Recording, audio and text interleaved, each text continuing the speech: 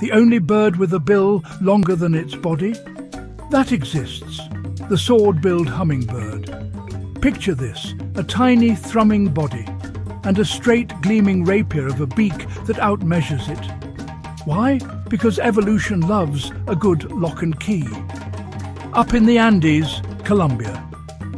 Bolivia, cool cloud forests around 2,000 to 3,500 metres flowers with deep trumpeting tubes. Most birds can't reach. This one can. That bill can top 10 to 12 centimetres. The bird? Not much more if you don't count the tail. It hovers, slides that bill in, tongue, long, split, springy, flicks nectar out like a tiny pump.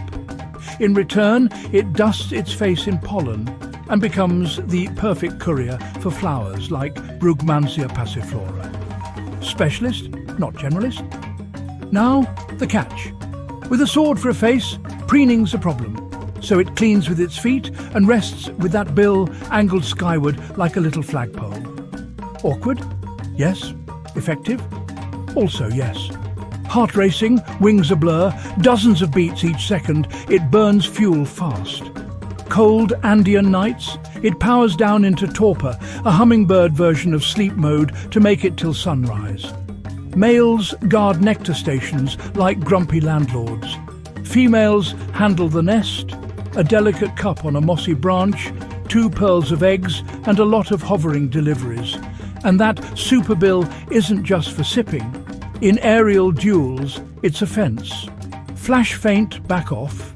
Rarely a stab, mostly a statement. This flower's mine.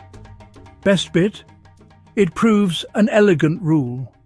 When a niche is narrow, the design gets wild. A bird that grew a key to a locked door, and then built its life around it.